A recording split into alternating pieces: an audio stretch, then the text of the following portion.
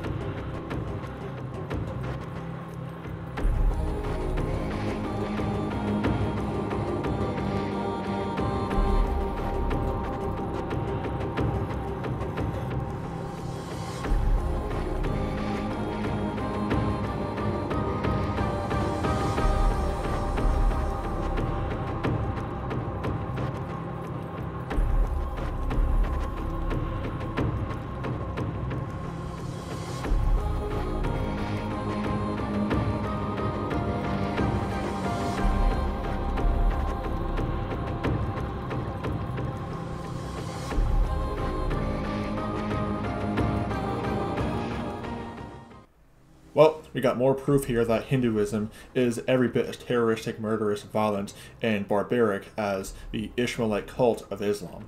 This is on the uh, first post. Says a history of riots in India shows how the Hindu right used religious processions to foment disorder. Governments can ensure that religious processions don't end in violence. For that, though, the lives of innocent citizens, especially minorities, should matter to them.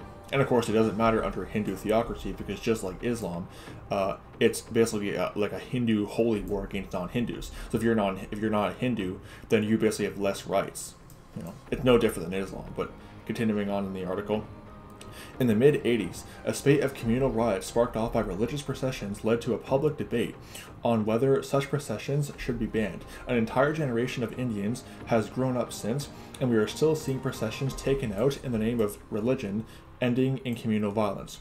Mad, I'm probably not going to pronounce like a lot of these Indian terms, right? So I may just skip over them.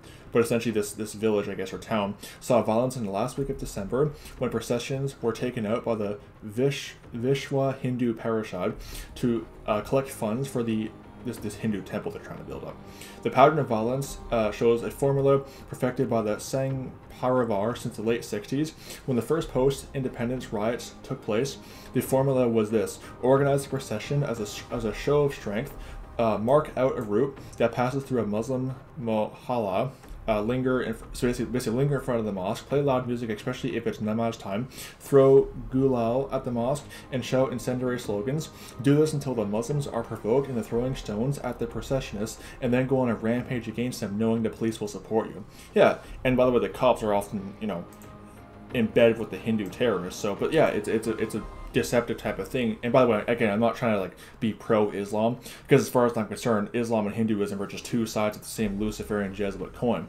But it's a, it's a good little tactic they use. They show their strength. They they you know antagonize the Muslims, and then they respond, they're like essentially cry victim after.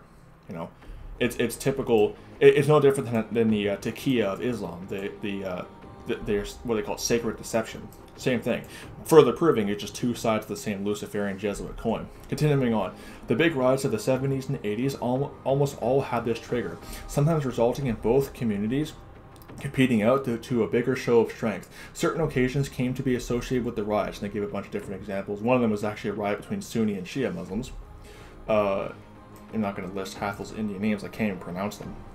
Uh, if these occasions passed off peacefully, editorials would be written. In the mid eight, sorry, in the 80s, such processions were uh, painted, sorry, painted as yatras by the Vishwa Hindu Parishad. The 1981, basically, they converted a bunch of people to uh, Islam, made the VHP take out uh, a bunch of this other stuff.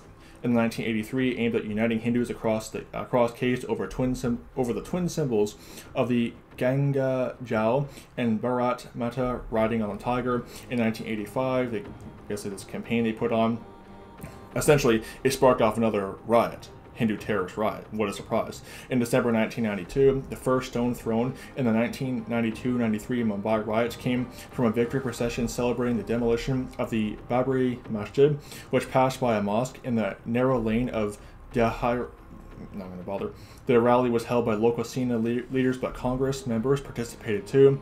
The slogans shouted were so abusive that they could not be read out in the open court during the hearings of the BN Shri, whatever. Basically, this commission they set up to investigate these Hindu terrorists, and these essentially the Muslim terrorists and the Hindu terrorists going at it with each other. Continuing on the article, the same was said by no less than the Mumbai police commissioner to the to, to that commission.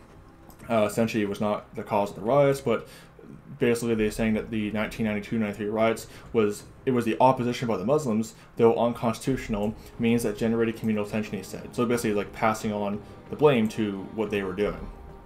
The aggressive display of religiosity in such processions that insist on passing through Muslim areas have anything to do with devotion, as Justice Shriek whatever, put it in his report. Though intensely religious, the VHP Ram Paduka processions taken out in Mumbai after July 1992 had less of religion and more of politics. Previously, the processionists would shout J, basically Hindu slogans, but the audio they basically this movement they had replaced it with Jai Shri Ram, which by the way is just the Hindu equivalent of Allahu Akbar. If you see Hindus when they basically riot and attack people they don't agree with, you'll hear them shouting Jai Shri Ram because it's basically just their version of Allah Akbar further showing that Hinduism is just no different than Islam, every bit as bloody and violent.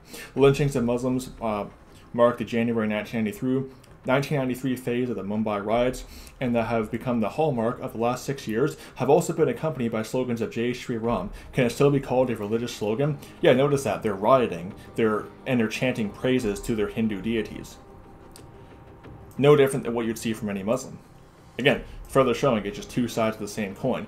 And, and you hear them, they'll attack Muslims and shout Jai Shri Ram, and Muslims will attack them and shout Allahu Akbar. Because why? They're just basically filled with devils, and they're just praising their false gods as they do their satanic violence.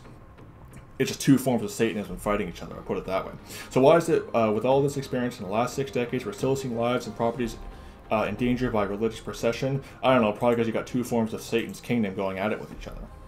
You know, but again, just further showing Hinduism is not any different than Islam. They even have their own little war cry to their false god, similar to how the Muslims do it.